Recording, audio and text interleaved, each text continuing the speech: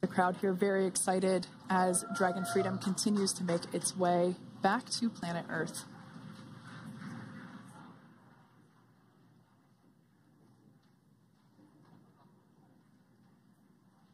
Next up, we'll stand by for the main deployment of the parachutes.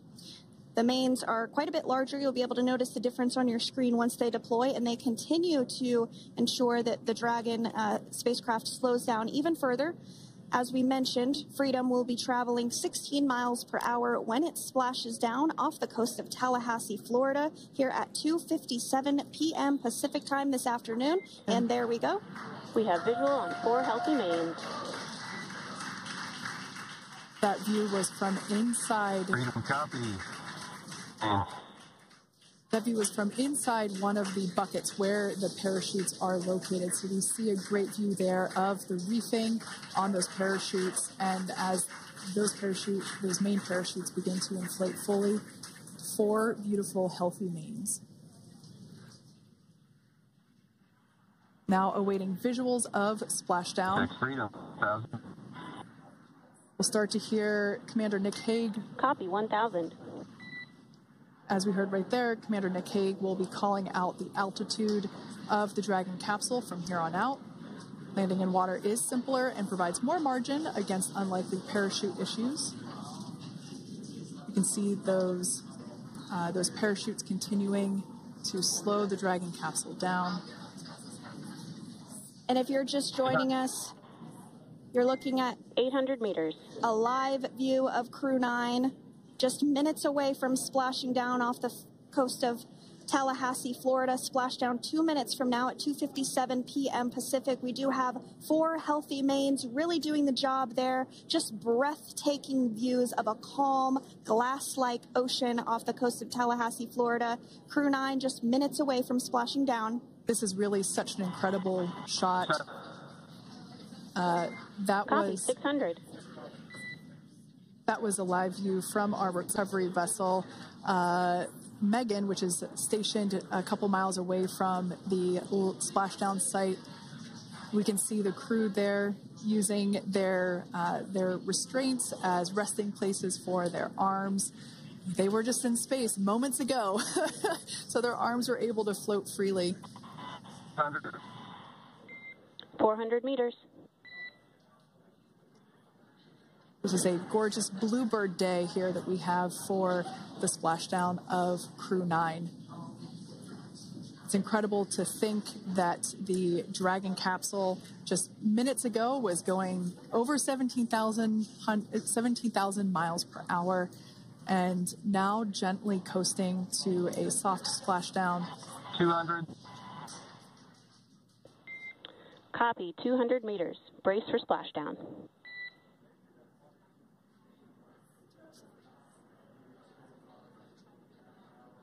As you can see there on your screen, continuing to monitor progress of the Dragon spacecraft. And we're going to stand by for splashdown located in the Gulf of America um, off the coast of Tallahassee, Florida.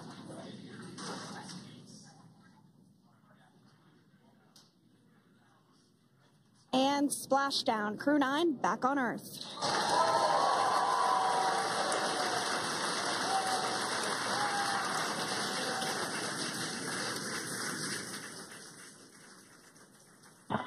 And SpaceX Freedom. Splashdown. Good main release.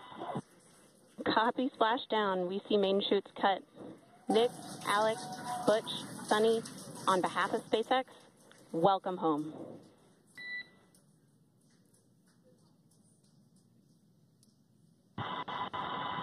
It is, uh, it is an amazing, what a ride.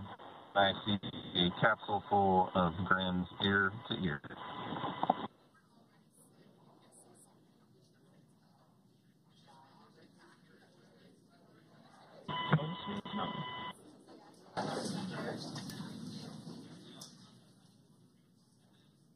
And as you can see on your screen, we have visual confirmation of splashdown. Dragon Freedom has returned home, and NASA astronauts System safety verifications are in progress. We'll report back when recovery personnel are en route. Uh, understand. And, uh, we're in section two, four decimal eight hundred uh, landing response, and uh, looking for your words and if it is necessary.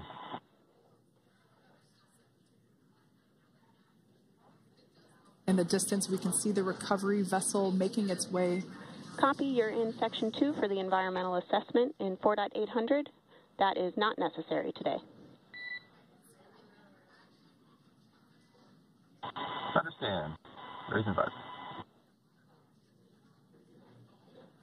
So we will continue to have communications between the Corps and Nick Hague, the commander of Crew Dragon Freedom, which just splashed down two minutes ago off the coast of Tallahassee, Florida. Dragon Freedom has returned home with NASA astronauts Nick Hague, Suni Williams, Butch Wilmore, and Roscosmos cosmonaut Alexander Gorbunov. They're back on Earth after approximately 17 hours of a return journey from space.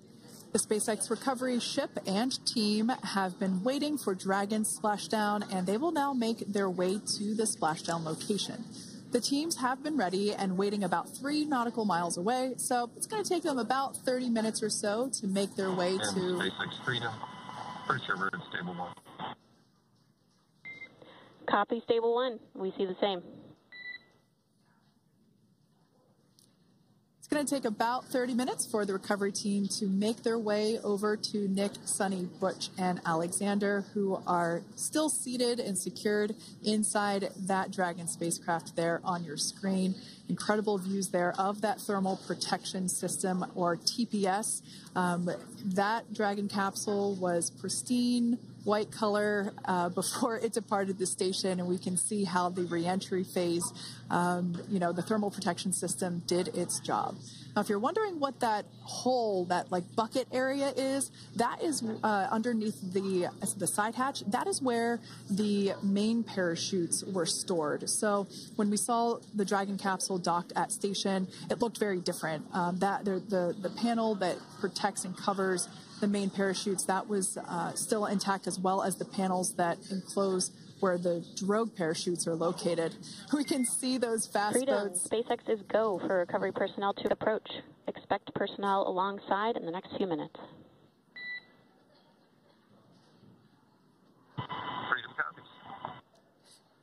We can see those fast boats. We weren't kidding when we said they were fast. While it does take about 30 minutes for the main recovery vessel to make its way over to the capsule, these fast boats uh, will be doing a couple of things simultaneously.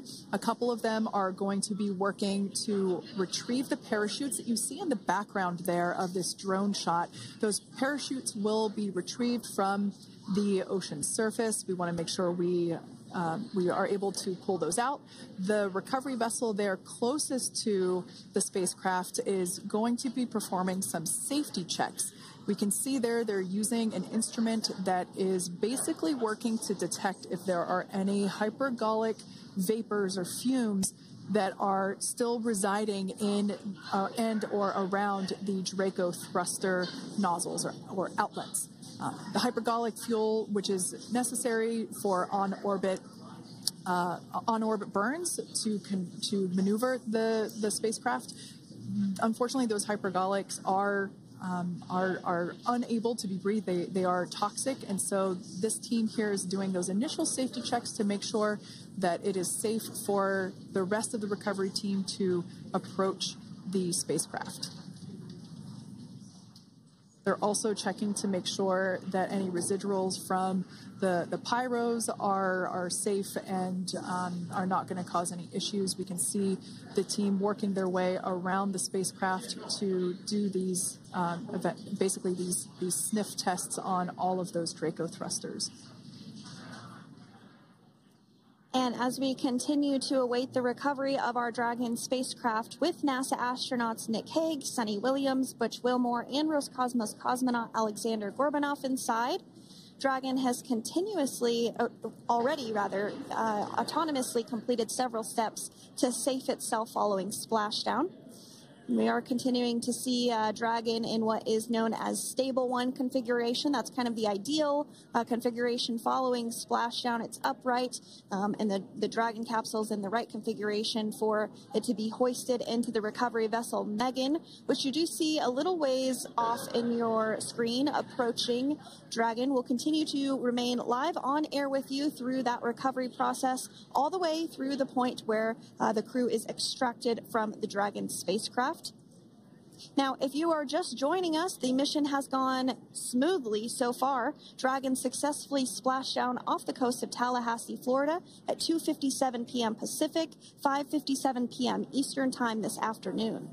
Approximately 17 hours prior to splashdown, Dragon autonomously undocked from the International Space Station, completed a series of departure burns, jettisoned its trunk section, and performed its final burn, the deorbit burn.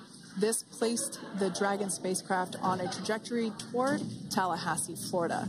Dragon successfully re-entered the Earth's atmosphere, followed by deployment of its parachutes to slow the spacecraft down to a gentle splashdown. We're now going to follow the Freedom. Hypergol sweeps and unfired ordnance checks are nominal. Rigging is in progress. Approximately 25 minutes until capsule lift. Stand by for PMC with SpaceX flight surgeon. Team Copy. And so what we did just hear there was communications that those hypergol checks uh, were complete. They didn't find any of that upon those checks, so we'll continue to move through the timeline.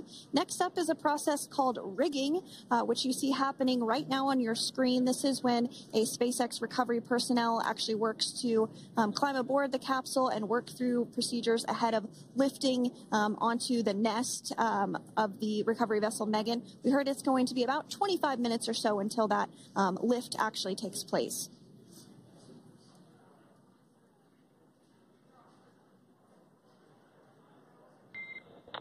Okay, Freedom, the next call will be from the SpaceX flight surgeon on Dragon and Ground Private.